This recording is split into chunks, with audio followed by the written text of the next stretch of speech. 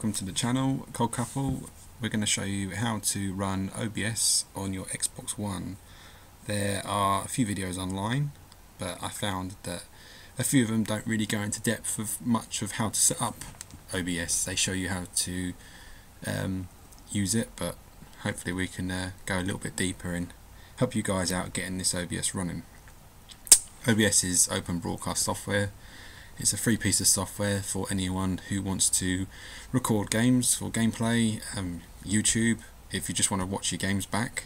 Um, it's a really good tool, it's totally free. And yeah, I mean, capture cards nowadays are what, 150 pound, to 150 pound. So these are a really good alternative for anyone who just wants to try out and see how it goes. One of the main things I'd recommend doing before you start using OBS if you're running on a laptop, which I am at the moment, um, when I use my Xbox One on my laptop, I'd recommend plugging it in to the mains, having it plugged in, and also, uh, if you can, use an Ethernet cable. This will eliminate any issues you would have over Wi-Fi. Currently, I'm on Wi-Fi doing this demonstration video, but when I'm playing on Xbox, I'll always have it connected to the Ethernet and the power, because you will find your processor is going to get driven very hard with OBS. It's a power consuming software as well as using the Xbox One through the uh, Windows 10 so those are the first two steps. I'd say plug it in power and Ethernet cable. Then what you want to do is go onto your Windows 10 search box type in this PC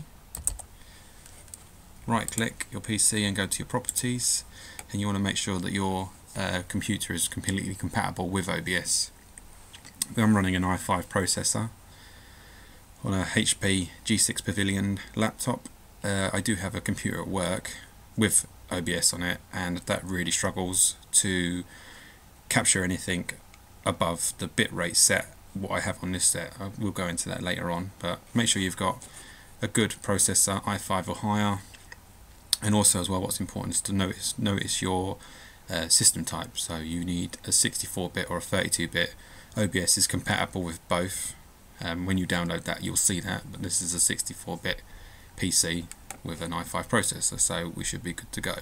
So once you've checked your spec of your PC, what you want to do is go onto Google, load that up, and then type in in your search bar OBS. That will take you to their website.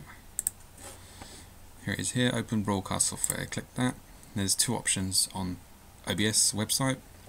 There's the classic version and then there's the studio version.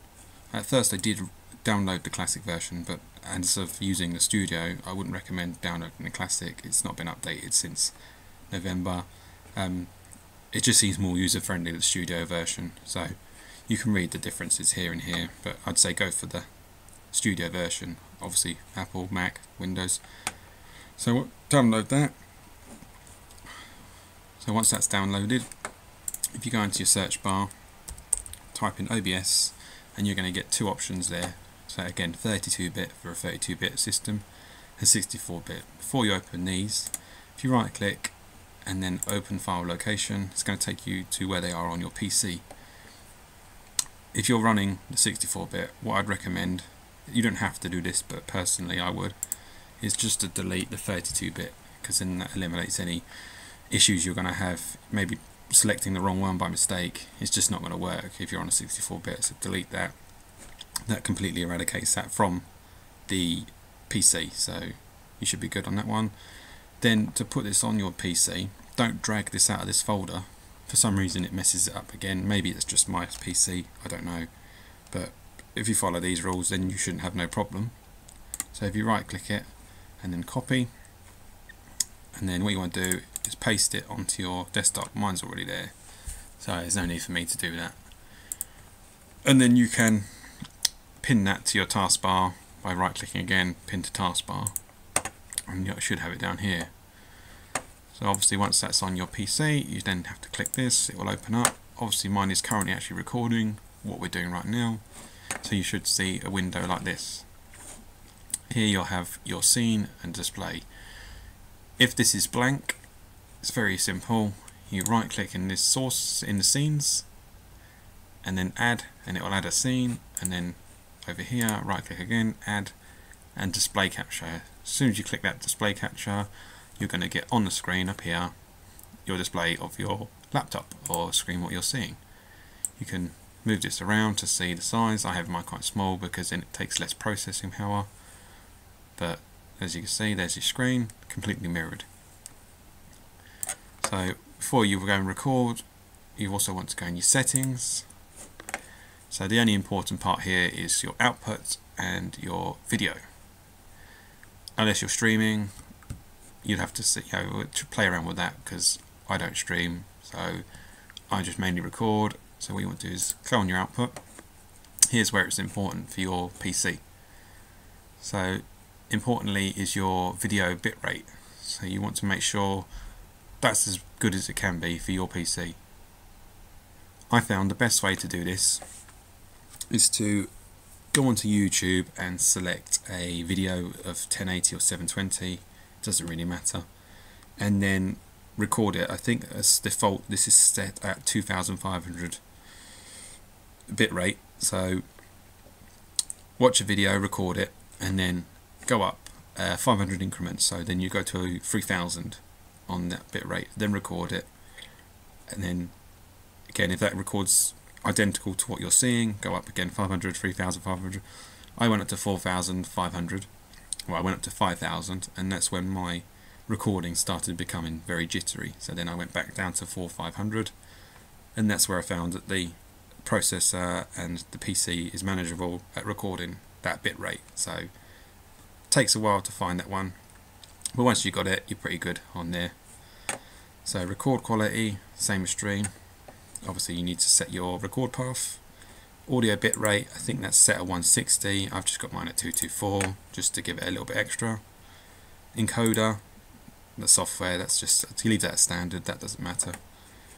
And there's another thing, recording format. I think when it's defaulted, it's uh, flash flash videos. Um, I'd recommend dropping that to MP4. Just saves you a little bit of grief when you uh, record the video and you have to use VLC player or some other player, the media player, which is built into Windows. So click that at MP4. Let's go to video. So here you will get differences in PCs depending on what your quality is of your PC. My PC can only manage 720, which isn't a problem. I'm totally fine with that. Um, I've just matched mine output to exactly what my PC is showing. Um, you can, if you have a 1080, you can choose whatever you want, 720. Um, you find if you if you go on to 1080, you might have to change a few things in the output. But again, it's it's all down to adjusting it. Once you've got an idea to how to set it up. It's pretty straightforward. Go into output and keep messing around with the settings until you find a suitable setting that you're happy with. The downscaler, again, I can't click on that because I'm actually recording, but I think it's set to uh, 15, 16 samples per second. Put that up to 32 and leave at 30 frames per second and that'll all be absolutely fine. Ready to go.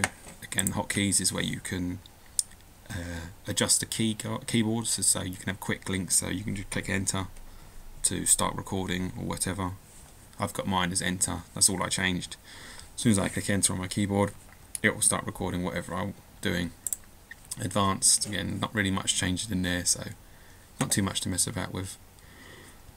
So once you've got all those settings everything is absolutely good to go you are recording you got your record button here so click that to record, vice versa to stop. That's all fine and you are OBS'd up. So once OBS is fully running and sitting in your background your PC, to link to your Xbox, it's pretty straightforward on Windows 10. You need to just have the Xbox uh, window here, which is all, should already be there, part of Windows package. Click on that, load up your Xbox,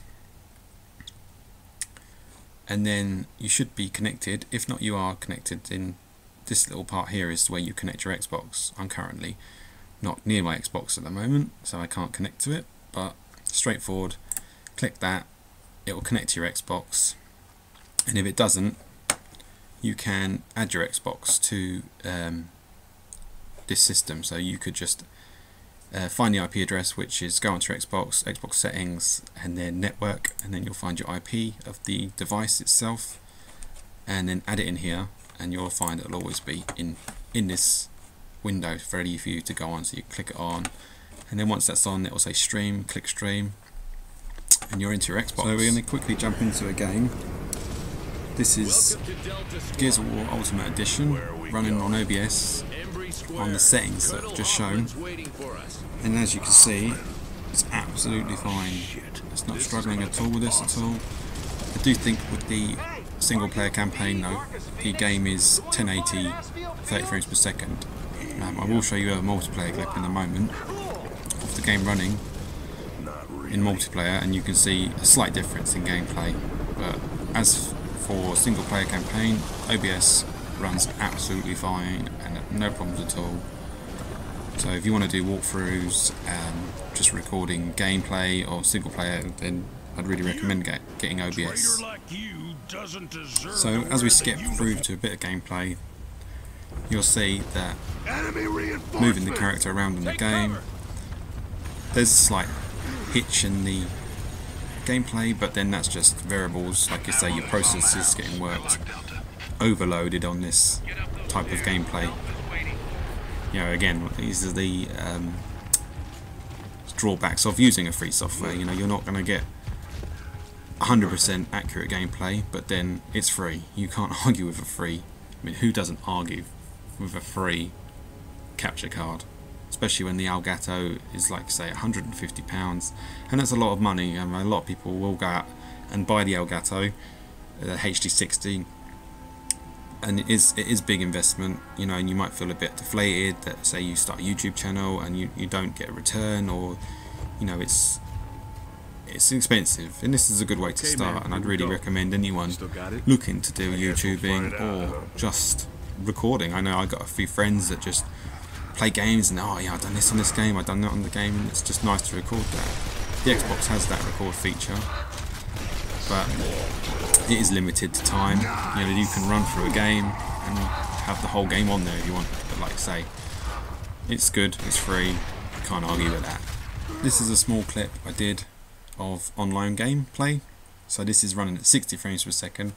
You will notice a slight difference in this though, the quality is a little bit less. But again, it's still absolutely fine, giving you that ability to record gameplay online with little to no fuss at all. So yeah, I'd really recommend going for the uh, OBS. So to top it off with the OBS, I'd say go for it. Get, get if you want to become a you know a gamer, it's a great option. It can you know can help you see what you're doing on games and if you do want to become a YouTuber, it's a great start. It saves the uh, the cost of buying a capture card, so really, really good free alternative. So don't forget to subscribe, thumbs up, share, and we'll see you soon.